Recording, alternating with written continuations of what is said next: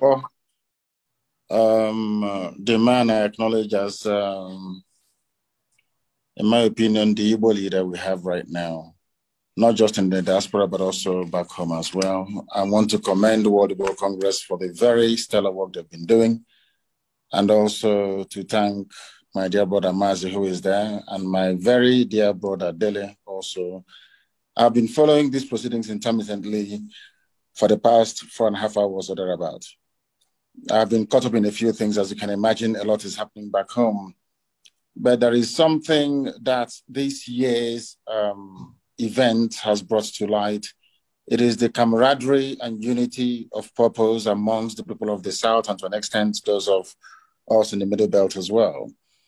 And we must continue on this very plane until we all get what we are asking for. I have not come across any individual who is against freedom. Therefore, what we are asking for as a result of this very important occasion is that we must move forward together as one people, as an indivisible force, in order for us to demand what rightfully belongs to us, which is freedom. Today is a very critical day in the history of our people. We are remembering those who were slaughtered and massacred unjustly by the Nigerian government, and of course, by extension, the British government as well. We are remembering those who died as a result of the unofficial Third World War that took place in our land nearly 54 years ago. And as a result of that, this very day, as we renew this pledge every blessed year, we have sworn to forever remember these people. We must remember them because the Jews do the same. All over the world, people remember their dead. In Rwanda, the same thing happens. And I don't know why there is this, should I say, conspiracy of silence to try to sweep this very important event in our history under the carpet. We lost over 5 million people, the second worst genocide in the history of man only second to the Jewish Holocaust in Europe. And for some inexplicable reason, the world have decided to keep silent over this very matter. But we are not going to keep silent, not at all. Not now, not tomorrow, not ever. We are going to vigorously and relentlessly pursue this very effort to recognize the genocide that was committed against Biafran people without apologies to anyone.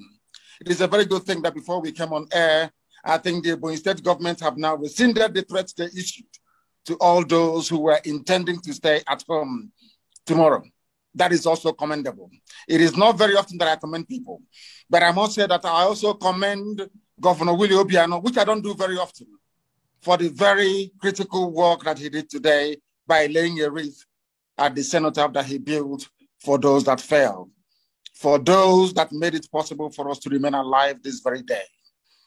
I must say this to our people, those who are living, that it is because of the sacrifice of those brave men and women that that is the singular reason why we are not suffering the same fate as those of them from the Middle Belt, and to a very limited extent, those of our brothers and brethren from the Oduduwa Republic. Why am I saying this? It is only in our land today that we do not have any significant presence of Fulani terrorist organizations in our bushes or in our forests. And why is that the case? Because our fathers taught us how to fight. They fought for Biafra unaided, unassisted for over three years. We fought the two strongest major powers in the world at that time, the USSR and Great Britain. Egypt fought against us. The OAU was against us with the exception of the likes of Julius Nyerere and Houphouët-Boigny of Cote d'Ivoire we suffered immeasurably. And now, like then, Israel was under attack and they couldn't provide any meaningful help. But we survived it. Not out of our own might, not out of our own power. We survived it because God Almighty in heaven was with us. And this generation have now come to complete the work that those of them of 67 to 1970 started. And we are not going to stop. I want the world to understand me very clearly. We are not going to stop. It doesn't matter what it takes. It doesn't matter how many lives they extinguish. It doesn't matter the genocidal tendencies they bring with them into our land. We are not going to stop. Everybody listening, everybody watching, everybody remotely interested in justice and peace must understand this. Our destination is freedom, and that very place we're heading to is Biafra. And nobody, no soul on this earth can stop us. Instead of Biafra not to come, we all perish.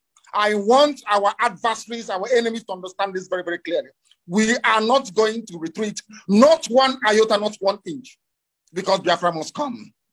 Because the hatred have continued to this very day.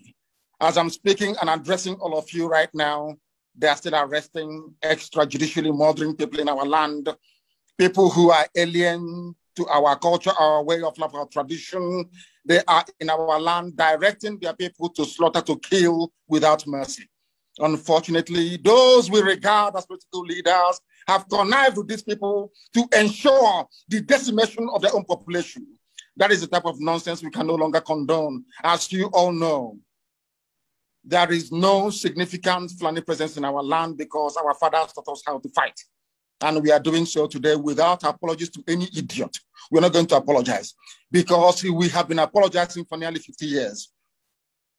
And we have not gotten anywhere in terms of our collective advancement and development in the damnable zoological republic called Nigeria. That is why we must continue what we're doing. And that is why anybody who is remotely interested in the affairs of our people must understand this that we are determined doubly determined. 50 years, or should I say 54 years, is a very long time, and 51 years since the end of the war. But now that we have come, or should I say, now that God Almighty in heaven, has determined that we should come, we are not going to relent. We are not going to do anything whatsoever to jeopardize the sanctity and the holiness of this very mission. We love our people. We love every ethnic nationality that makes up Nigeria as it is presently constituted. We have no hatred towards anybody. We love peace. We love life. We love the progress of other people, but we are in a country where people hate us for no reason, where people despise us for no reason, and we can no longer go on apologizing. And Nigeria as a state the entire Africa as a continent must acknowledge. The same way they acknowledge the genocide in Rwanda, they must rise up to acknowledge the genocide in Biafra land, or else there will be no peace nor development in the whole of Africa. And I'm not saying it apologetically. I am stating a fact that ought to be forcefully demanded for.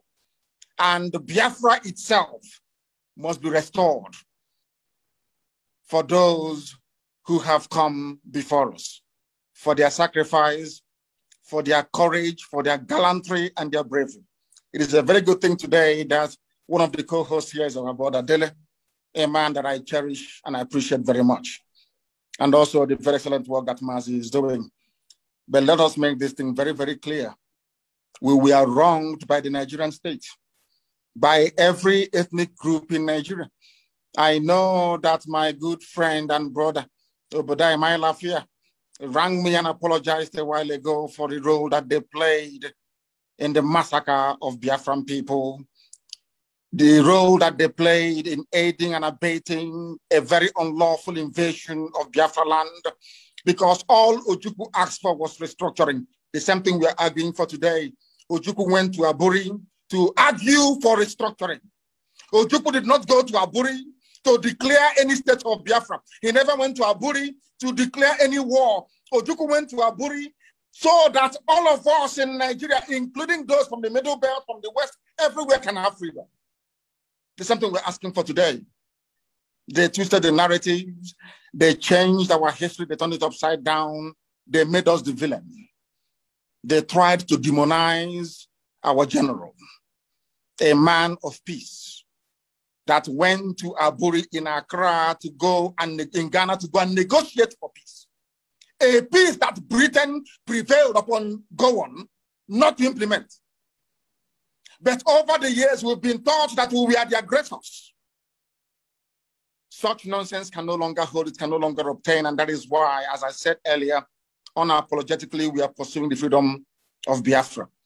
And nobody can stop us. Anybody on our path is going to fall, is going to die. Instead of Biafra not to come, every living organism in Nigeria will die. I swear to God Almighty in heaven, because we are not going back. It is a good thing today that some notable Nigerians are on this very platform discussing what transpired 54 years ago. Most have tweeted to say, may it not happen again. The only way to ensure that this will not happen again is the existence of a free, sovereign Biafran nation. That is the only panacea, nothing more, nothing less. Before we came here, Ladipo Market was on fire. These vandals and vagabonds are in our land killing people relentlessly.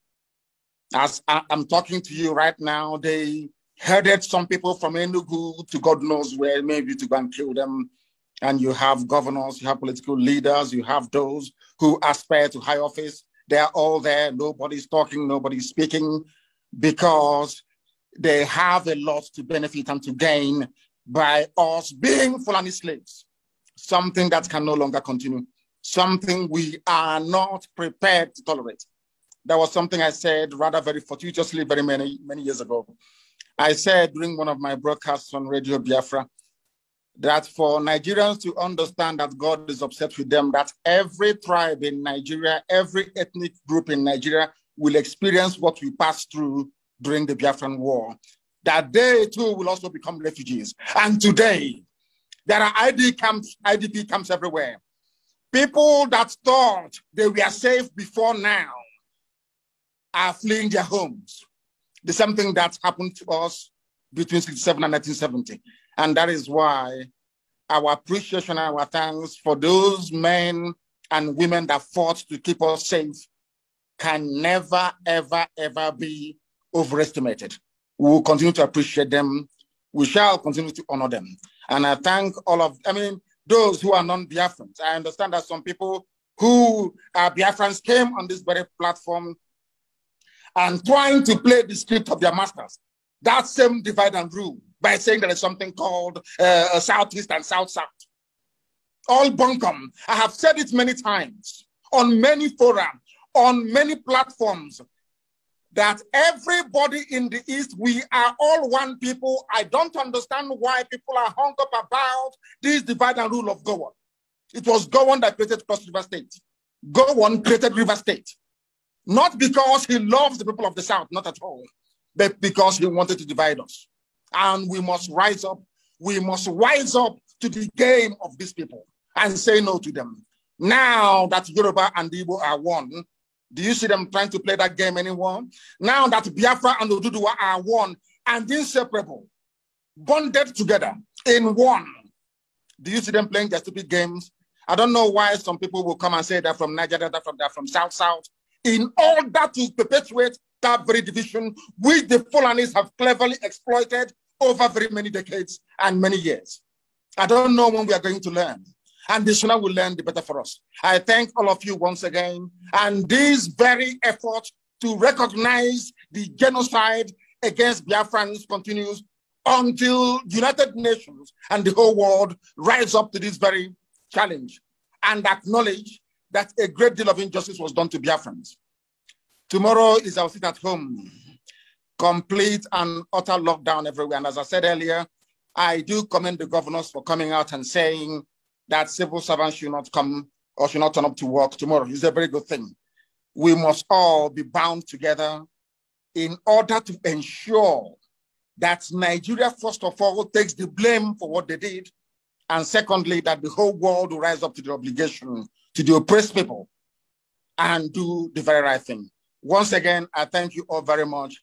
And my very special thanks to Professor Ejiofor, for the very wonderful and sterling work that you're doing, you and your team. Thank you very much.